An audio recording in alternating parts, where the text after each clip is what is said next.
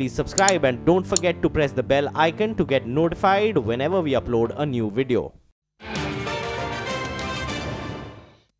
Hello and welcome to the CNBC TV 18 special. I'm Shereen Bhan and we have the privilege of uh, having on the show today the CEO and Chairman of Alstom, the global CEO and Chairman of Alstom, Henri Lafarge. Thanks very much for joining us here on CNBC TV 18. Uh, let me start by asking you about the big railway plan now, and you've had better luck on this front in comparison to GE, which has run into trouble uh, on account of the railway's plans to go electric. Uh, you've just visited your Madhepura facility in Bihar. Uh, give me an update of where things stand. I think it's a fantastic opportunity to uh, participate uh, to this uh, railway electrification. And uh, yes, as you said, I was uh, in Madhepura two, two days ago, uh, looking at our first locomotives, electrical locomotives, Mhm. which has been produced in Madhepura, the first out of 800. And it's a fantastic challenge, and I think it's a fantastic adventure, excitement, uh, to participate to this uh, electrification of the network uh, in, in India. Mhm. Are you on track now? Are you, you know, as far as uh, the completion of the order is concerned for 2019, what can we expect in terms of being able to deliver? Yeah, it has been a fantastic achievement. I mean, we've signed the contract two years ago, Yes.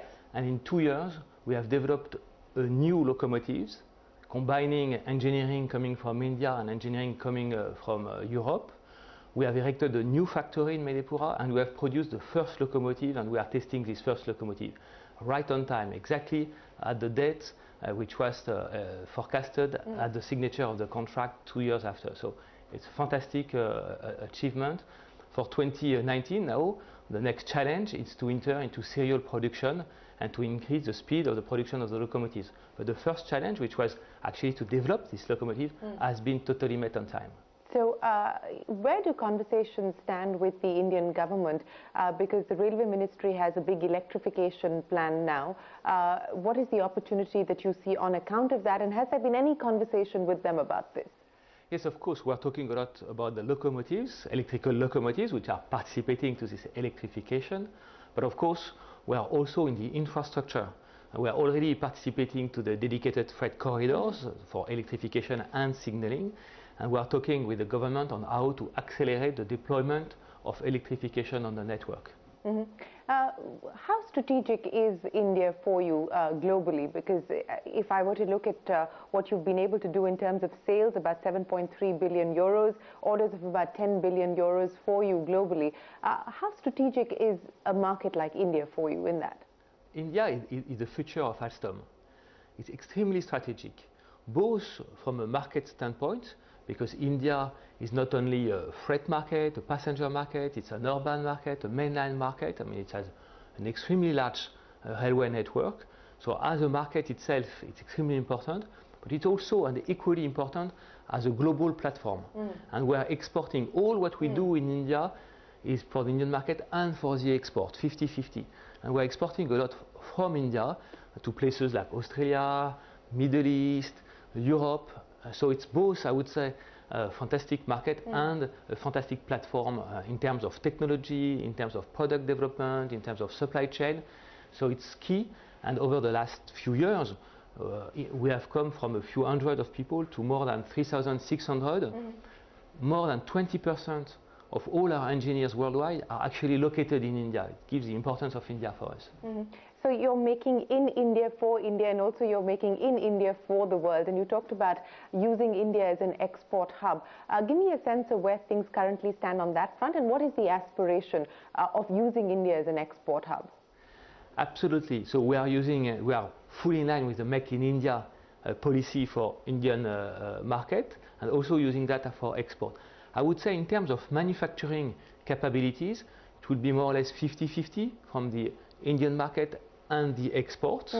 In terms of components or in terms of engineering, we are probably looking at 80% export and 20% uh, for the Indian markets. Okay. So the engineering forces are, are extremely important uh, in India. Are you going to be hiring more? You said that you've already uh, uh, increased your headcount to over 3,600 people. Are you going to be hiring more given the opportunities that you see here in India? And are you going to be investing more in India as well? Absolutely. I mean, we are hiring uh, 20, 25% more employees per year, and we are continuing on that pace year after year. And there are plenty of opportunities, of course, uh, to serve the, the, global market. We are happy and lucky to be in a world growth market. Mm. Mobility is a challenge in India. As you know, mobility is a challenge everywhere in the world. Mobility in terms of quantity of mobility, mm.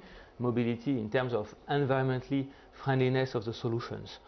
So we have a huge growing market. So we are uh, investing 20, 25% more employee each year in India. And of course, we have also some physical investments that we are continuing to do to increase our capacity. Mm -hmm. Just take uh, an example. We are talking about Madhepura, right. but we have a, a, metro factory in Sri City near mm-hmm. Chennai. Mm -hmm. Last year, we have doubled, we have doubled the capacity of this, uh, of this factory. Okay, you've doubled capacity at Sri City. So what would that mean in terms of uh, uh, the incremental investments that you hope to make? And you've also inked uh, new contracts worth, what, about 75 uh, uh, million euros here in India with the Chennai Metro, with the Jaipur Metro, etc. If you can give us an update on the contracts that you've signed and what that would mean in terms of incremental investments on your part. So each year uh, we are investing I would say between 50, 50 million uh, euro of investment in terms of physical investment. Mm. But in our uh, type of industry, it's not only physical investment which is important, it's also all the expertise and the competence that we are bringing. I think our contracts that we have signed are illustrating the, the wide range of competence and expertise that we have in India. So it's not only, it's, it can be components, it can be, uh, uh, like for Chennai, a complete metro. It can be infrastructure systems, signaling system. So we are really investing in the full mobility chain. You know, you've been visiting India since the early 2000s. What do you think are the big differences that you see in India today, both from a market opportunity point of view as well as a place to do business? Absolutely. I mean, I'm always extremely uh, delighted and excited to, to come to India for all these years. And what we have seen is a an increasing speed uh, of the market. Everything what is being done uh, in India is now uh, done much faster than in the past. And I think our achievement on locomotive is really illustrating that. Like in two years that we were able to build a factory in Bihar state means that our infrastructure to do it, means that there are contractors, large companies to do it, and that the partnership with Indian Railway is excellent in order to achieve this kind of uh, uh, target and challenges. So the first thing is speed. I think speed has increased a lot, and of course the size of the market and the size of the opportunities and the, la the, the size of all what we do in India has been multiplied by 10 in all these years. There have been several developments for Alstom globally. The power business has been taken over by GE. Your focus now is largely on mobility. Uh, I want to ask you about the other global developments that could impact business, and this has to do with President Trump's order imposing higher tariffs on aluminum as well as steel. Uh, you know, what do you make of that? And the fear is that there could be retaliatory action from the EU as well as China. How does that impact a business like yours? Uh, first of all, uh, uh Alstom has refocused its operation on transportations.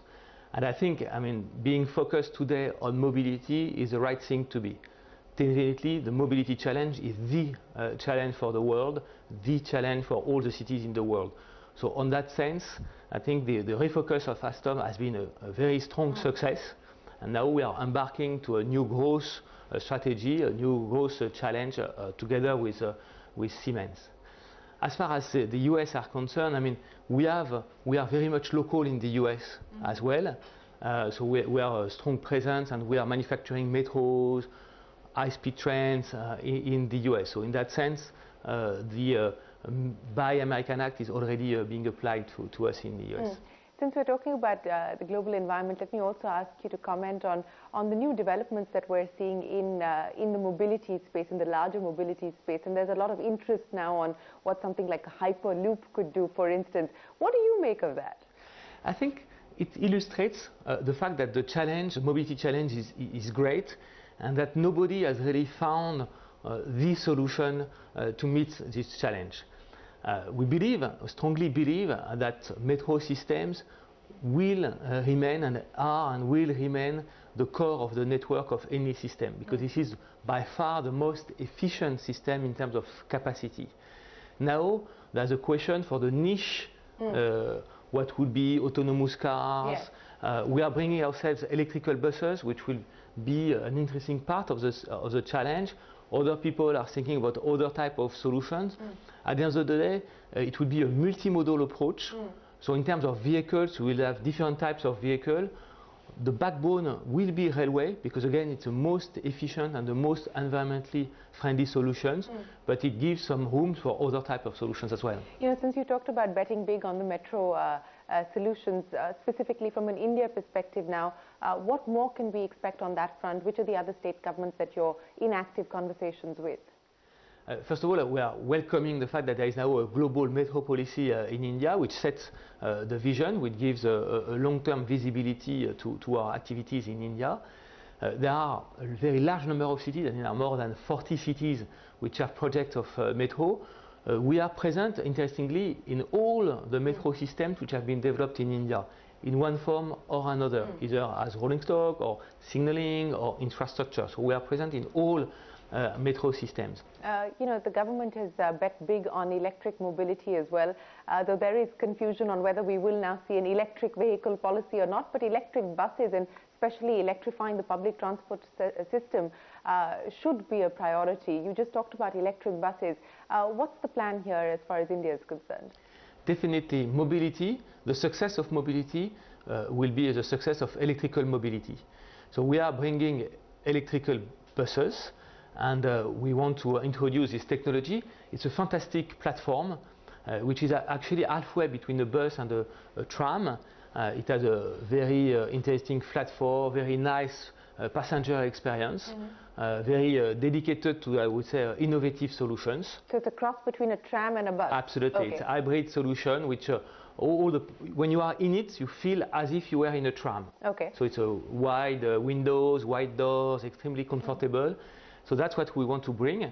We are also uh, b- want Have you tied that up with any any particular government at this point? Any state we are, we are this point? discussing with partners as well uh, to, to bring it uh, uh, globally. So it's still early days, but extremely uh, positive and extremely uh, exciting. We are also uh, bringing electrical solutions. As you probably know, we have developed uh, an hydrogen train uh, in Europe, and that also can be uh, uh, of uh, great use to uh, meet the challenge of electrification. Okay. Uh, you know, outside of the mobility area, whether it's electric, and of course, uh, you just talked to us about some of the uh, future opportunities that you're looking at. Uh, what else would you look at from an India standpoint today that looks exciting for you? Well, of course, mobility is our core, core business. So we look at all uh, the mobility sector. And what I said is, in addition to railway, railway is our core business. We are looking at on other forms of mobility, and particularly in the digital mobility. So there is a huge dimension for mobility to smart mobility, and from smart mobility to smart city. We were discussing uh, yesterday at the uh, French-Indian CEO forum about smart cities, and, and it's clear uh, that smart cities is a challenge. And I think progressively the digitalization of the mobility will become the digitalization of the city. And we want to invest, and this is one of the reasons why we want to team up with Siemens, is to invest more and more in digital technologies in order to be the te- technological provider for all public authorities in the cities. Hmm. So, in, in the global pecking order, where would India stand today uh, in terms of both revenue contribution uh, to Alstom as well as market opportunity? Uh, in terms of market, uh, market opportunity, India comes first, definitely. Uh, in terms of, uh, uh, I would say, uh, turnover, it's growing 20-25% per year minimum. It has one of the largest backlog in the world, so it progressively becomes as well in terms of activity the number one of, uh, for Alstom. So, this is, this is your most important market then? Definitely. Well, Henri Lafarge, it's been an absolute pleasure. Thank you very much for joining us here on CNBC TV 18, and we wish you the very best of luck with your plans here in India. Thank you very much. Well, a very warm welcome. Um, as even as you're watching this broadcast, one can understand that you are connected at any given time to three, four, maybe even more number of devices. Uh, and well, uh, that begs the question: What makes these devices tick? Well, the answer is chips and processors. Uh, and while Intel has been uh, the proverbial Goliath Uh, the question that one is increasingly answering is that has this Goliath perhaps uh, found its David on the back of some phenomenal performance in the year 2017 uh, by the company AMD. Um, this afternoon, in fact, I'm joined by uh, Lisa Su. She's heading the company. She's the one responsible for the turnaround. Uh, Lisa, welcome to the show. It's lovely speaking to you. Oh, thank you so I much. I remember uh, the last time you spoke to CNBC TV 18, that was about three years back when you were just six weeks uh, into the job. How's this journey been? It's been a, uh, great couple of years. Thank you very much. It's great to be here in Delhi again. And I would say that uh, you know it's a great time for technologies. It's a great time for the processor business. So uh, we're very proud of what we've done at AMD, and most importantly, we're very proud of the products uh, that we're putting into the market to really drive high performance computing to as many people as possible. Well, what's interesting is that uh, while you say that uh, 2017 has been a phenomenal year for you, just the numbers, the way they stack up, uh, growth of over 20%, uh, strong guidance for the next quarter. Uh, this is perhaps in many ways the best year since 2004. Uh, what factors would you attribute in terms of this turnaround that we're beginning to see, with AMD perhaps being the proverbial David to the Goliath?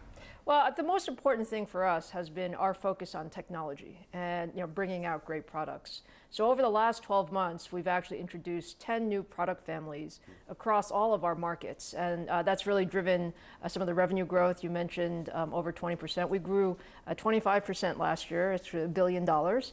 And uh, most importantly, we've gained you know, market share with our key constituents. So you know, that's very, very important to us. So while you're making this push, uh, before I come to which are the focus areas, uh, a question first on uh, there has been there have been some tailwinds in your favor.